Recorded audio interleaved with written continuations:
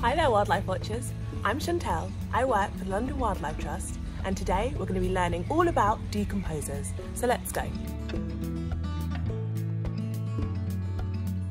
Decomposers are made up of the FBI. FBI, fungi, bacteria and invertebrates.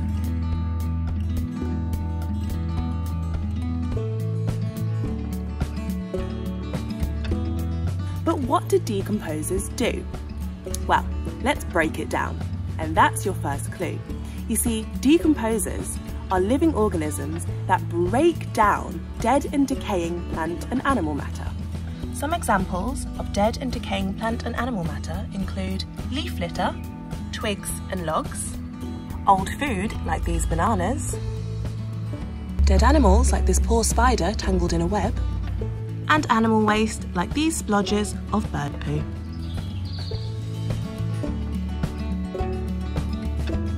Fungi are one of Earth's major decomposers. There are over hundreds of thousands of known species of fungi in the world, and over millions of unknown species. But did you know that mould is a type of fungi? Now, you've probably seen mould before, perhaps in your kitchen, and it looks a little bit like this. A very mouldy case of coconut. Similarly to the seeds of a plant, fungi release spores which help them to reproduce and spread. Now these spores are airborne, which means they're in the air all around us.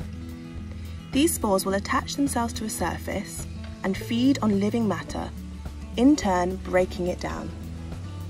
And so before our very eyes, we can see this coconut being broken down by fungi. And as I said before, there are loads of different types of fungi, which feed on other materials such as dead or decaying trees and wood. Bacteria are single-celled, microscopic organisms, which just means that they're so tiny that we can't see them with just our eyes.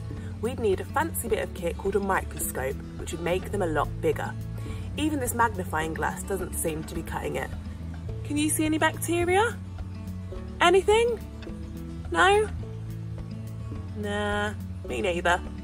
Just like fungi spores, bacteria is all around us, on our hands and that's why we wash them. But bacteria isn't all bad, and we've actually got good bacteria living inside our bodies, helping our digestive system to break down our food. Now bacteria also breaks down other things, like plant matter, the bodies of dead animals, and our food scraps. Now last but not least, I is for invertebrates. There are many different types of invertebrate decomposers such as flies, millipedes, and earthworms. But did you know that there could be a decomposer living in your house right now? Now you might have guessed it, it's woodlice. Did you know there are up to 40 species of woodlice in the UK?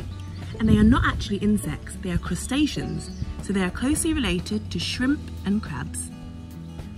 Their name gives away the fact that they feed on decaying wood, and another funky name is a wood pig. But they also feed on leaf litter, dead animals, and even animal waste. They also eat their own waste to retrieve the copper they've lost. You might find woodlice in your house, but a woodlouse's favourite hideout is somewhere where it's damp and dark. So if you lift up a rock or turn over a log, you're likely to find one. But always make sure you cover it up again, very carefully. So we've looked at a few examples of decomposers, but why are they so important?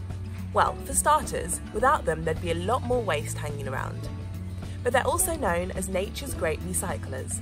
And that's because as they feed and break down materials, they also release nutrients into the environment, so for example, when an earthworm is breaking down materials in the soil, the waste that they produce is vital for plants to grow.